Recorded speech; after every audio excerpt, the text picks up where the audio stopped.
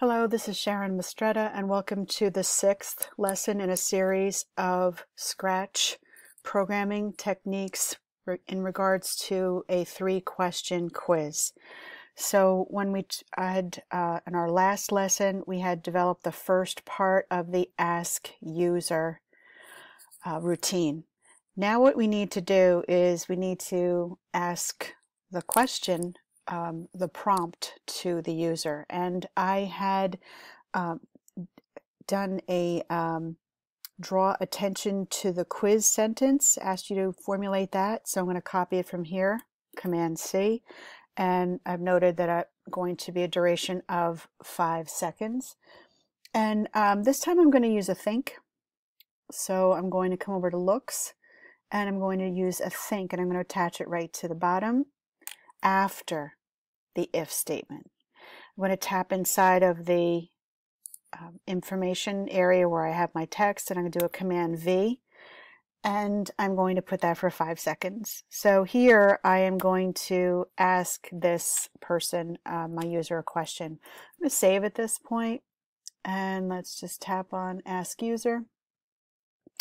And you can see right here that it has displayed my question. So I just tapped right, I didn't have to run the whole program. I just tapped on the um, my routine. So since current question is set to a one, it went down this leg of the if statement and broadcast question one.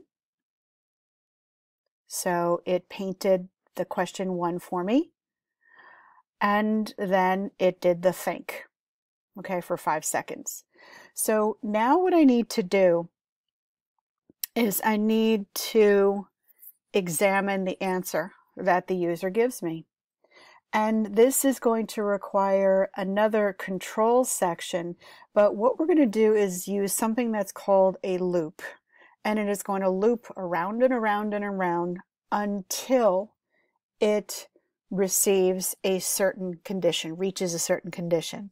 And that's handy when you want to ask your user a question and you want to make sure they enter a one, a two, or a three. So I'm going to do that. I'm going to ask them to repeat until, or ask the program to repeat until it senses a one, two, or three from my user.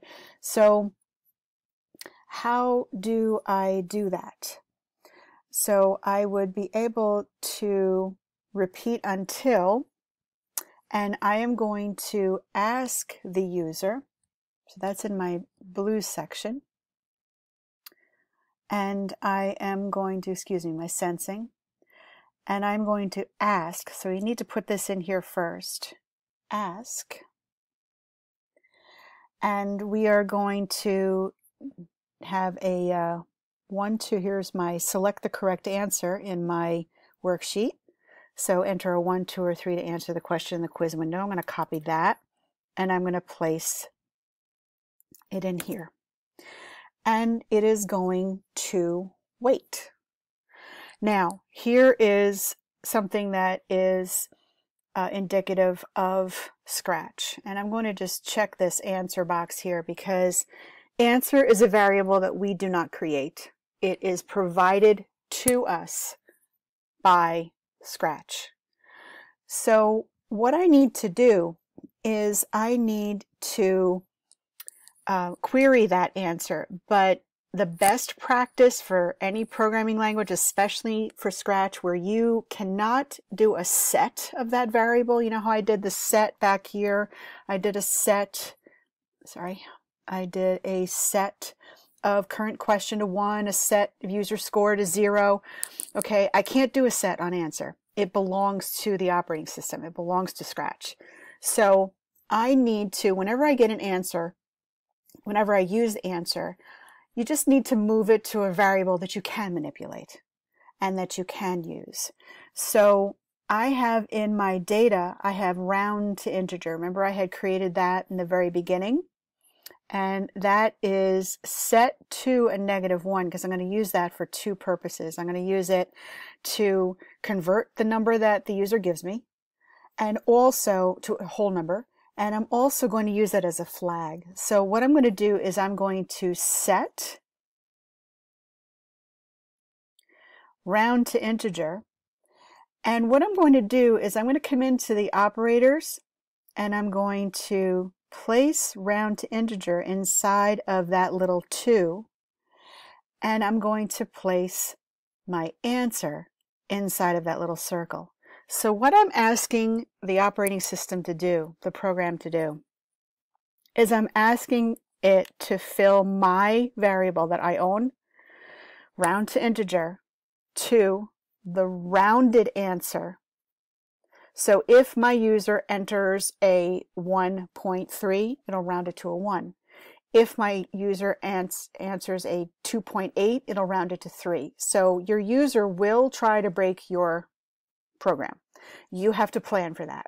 So what I'm doing is I just round it to the nearest integer and then I use that number. So it will ask me for that. Uh, I, this will repeat until. Now let's just fill this repeat until. I need to get two operators here going. So what I need to do, I need to make sure that it's between um, a uh, between a one, two, and a three.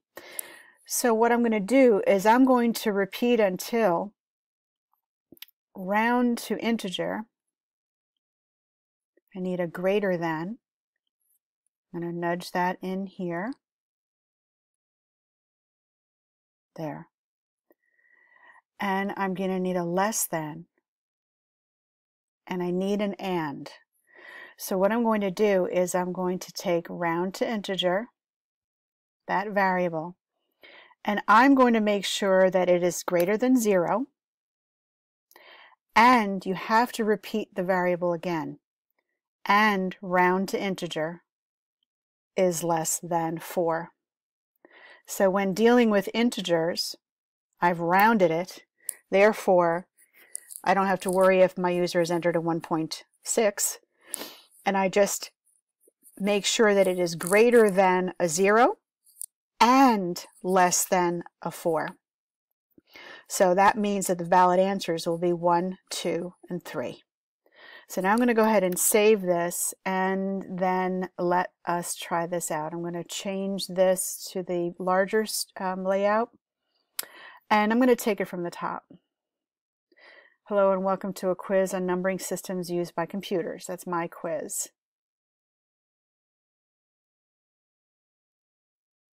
Okay.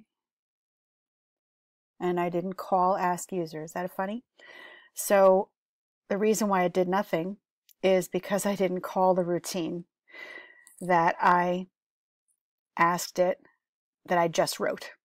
Okay, so here is a prime example that you need to call the routine that you are going to use. So I'm going to do a Command S I am going to click green. Hello and welcome to a quiz on numbering systems used by computers.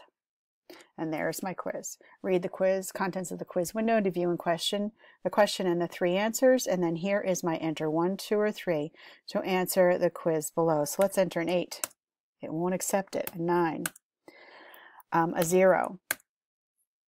A negative one. Let's see if it'll do that. Nope. Okay, so now let's enter a 2.3. Okay, so here, do you see that my round to integer is a 2? Now, keeping in mind that since I'm writing a quiz, I'm only displaying these by keeping them clicked as I am developing my project. But I would not show my correct answer or my the answer that the uh, user gave me, I would uncheck all of these. But since I am developing, I want these checked. But when you're about to put them into production, so to speak, you would unclick those variables. So now you saw that it only accepted a 1, 2, or a 3 or it rounded. So let's take this from the top again. Now it's not going to do anything else because I haven't done the rest of the code. So hello and welcome to the quiz. Here is read the contents for the possible answers. Here is my ask, and I'm going to put a 1. Now, it's not going to do anything yet because I didn't code it. So I'm just going to press stop.